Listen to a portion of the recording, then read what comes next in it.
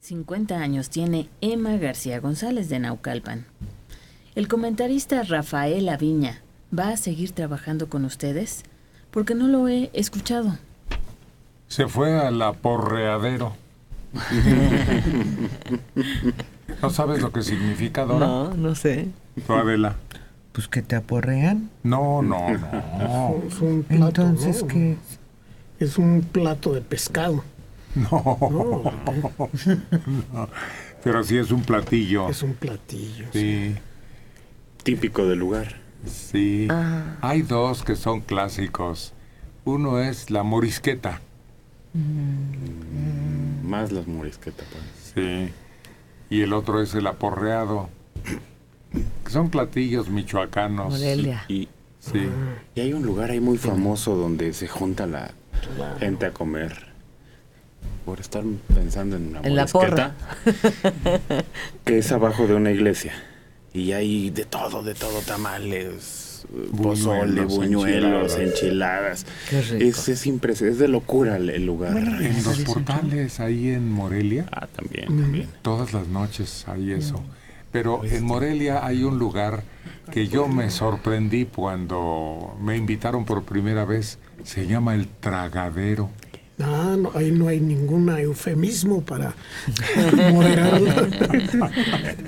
lo que se va a hacer ahí. ¿A dónde fueres?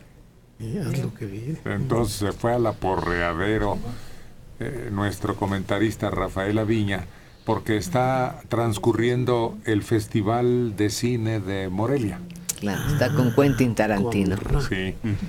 Y lo van a poner a, a ejercitarse con la danza de los viejitos. Está bien. Además va a estar en una mesa con Jodorowsky, no sé, en un homenaje En que se le va a homenaje hacer. que le hacen a Sí, Alejandro. él va a ser uno de los que está ahí. Y entra a, a funciones a las 8 de la mañana y sale a las 8 de la noche.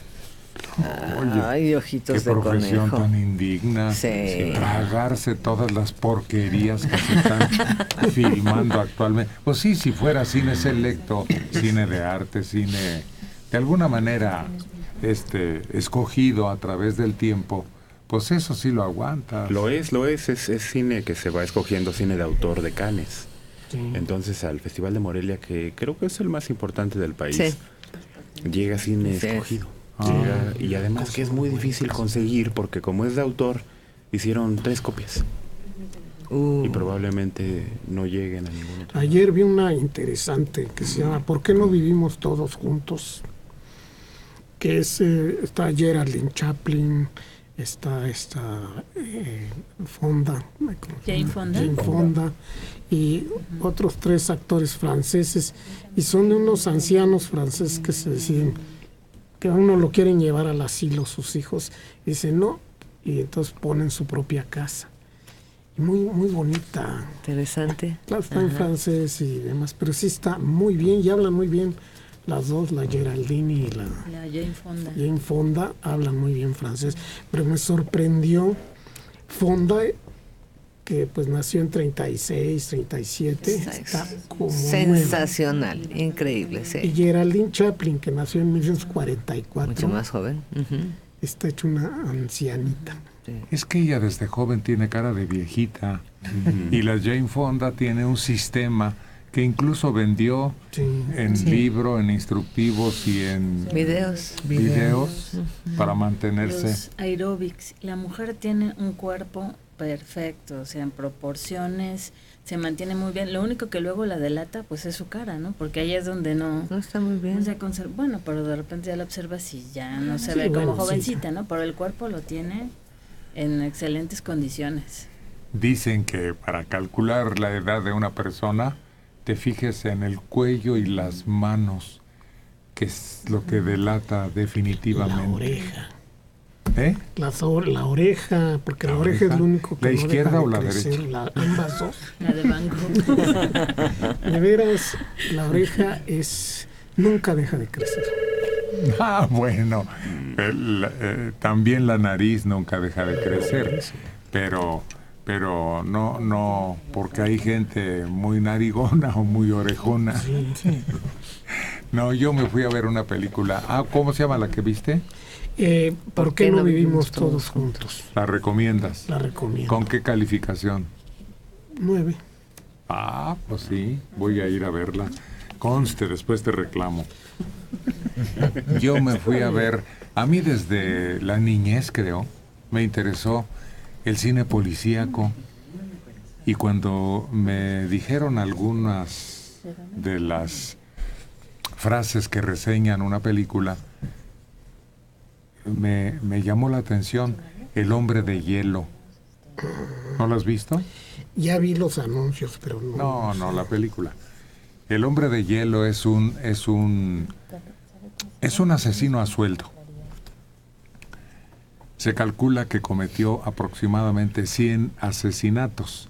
Y claro, no caben todos en la película, pero sí algunos con algunos detalles muy sombríos. Además es una película en blanco y negro que resalta todavía más el dramatismo de la película.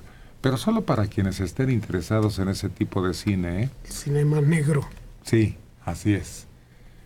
Porque es un criminal que empieza... Ah, pues empieza como lo decíamos aquí. Fíjate que eh, se conchaba la amistad de un poderoso del bajo mundo. Entonces, este, como lo hemos reseñado aquí, le dice, bueno, para hacer mi hombre de confianza, necesito encomendarte algo. Y le dice el otro, pues sí, ya vas, a ver, ¿de qué se trata? Tú vas a trabajar con nosotros, van a ganar muy buena lana tú y quienes te ayuden, te apoyen, pero vas a tener tareas difíciles. Y el otro, pues todavía sin darse cuenta, entonces localizan a un vagabundo y le dice, lo que tienes que hacer, ten esta pistola es matar a ese hombre. El otro, pues ansioso de tener la amistad de aquellos poderosos y de ganar dinero fácilmente, se baja del automóvil en que están teniendo esta charla y va y lo mata. Lo mata a sangre fría. Un vagabundo, un miserable, un hombre que se acercó incluso a pedirles una moneda. Se baja, se sienta junto a él y mientras establece su confianza con él, discretamente saca la pistola y lo ejecuta. Va y se sube al carro y ya de ahí en adelante es el hombre de confianza de aquel criminal que es el organizador de una serie de, de negocios mafiosos.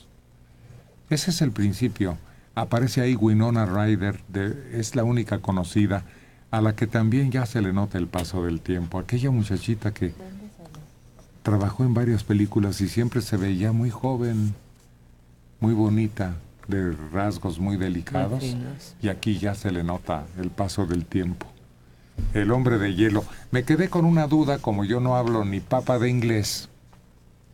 No sé si el hombre de hielo se refiere a su frialdad en todas las ejecuciones que tenía a su cargo, o si le dicen así al hombre que en una camionetita vende helados a los niños. No, es el que antes repartía el hielo en unas tenazas gigantes, bajaba el hielo y lo llevaba a las a las, a las tiendas donde, donde hubiera refrigeradores era el hombre de hielo. Y hay una novela muy célebre que dice, ya llegó el hombre del hielo. Y tiene que ver con la muerte. Ah, pues porque también este congelaba sus fiambres. Tiene un propósito. Si tú congelas un cuerpo de un ejecutado y pasa tiempo, es más difícil saber cuándo murió y de qué murió. Yo creo que era por varios factores. Yo leí que era por la frialdad con que mataba, pero si le sumamos que congelaba o refrigeraba a sus víctimas, bueno, ahí están los dos factores. Un hombre totalmente sin escrúpulos, sin sentimientos, y por eso era el hombre de hielo. No es una película recomendable para todos porque es muy fría, muy plana, muy, sí, muy, muy, solamente tú que vas viendo, además está basada en un libro de un hombre que murió en prisión y que fue descubierto y reseña todos sus crímenes. Entonces existió, ya no vive, estuvo en una prisión de alta seguridad.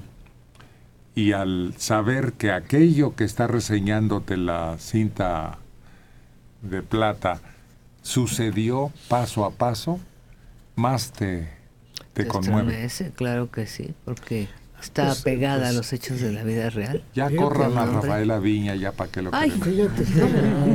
Pues sí, pues ya tenemos aquí dos cronistas. el hombre de- del hielo, el hielero, es de, de Eugene O'Neill, nada menos. Sí, por eso está Chaplin. Y es una obra de teatro muy importante. Y tiene que ver obviamente con la muerte. A mí lo que más me impresionó una vez siendo niño es que había un comercio por ahí por la, la colonia donde yo vivía, donde todos los días les llevaban el hielo y se los ponían en la banqueta. Entonces cuando abrían ya metían el hielo. Pero un día cerraron o se murió el dueño de la tienda.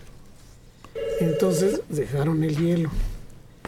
Al día siguiente el hielo ya estaba chaparrito y dejaron otro hielo. Y al día siguiente otro hielo, hasta que alguien les dijo ya no dejen hielo, porque se murió el, el dueño de la tienda. Señorita. Pero regaba los arbolitos y Sí, los praditos. sí, Porque esa es una forma también de, de mantener vivas las plantas que quieres conservar. Con hielito. El florero mismo. Ahí en Zaragoza, casi con Nonualco, había una gran fábrica de hielo. Y a mí lo que siempre me llamó la atención y luego me paraba nada más a ver cómo le hacían esos enormes rectángulos Bloques. de hielo, sí, enormes.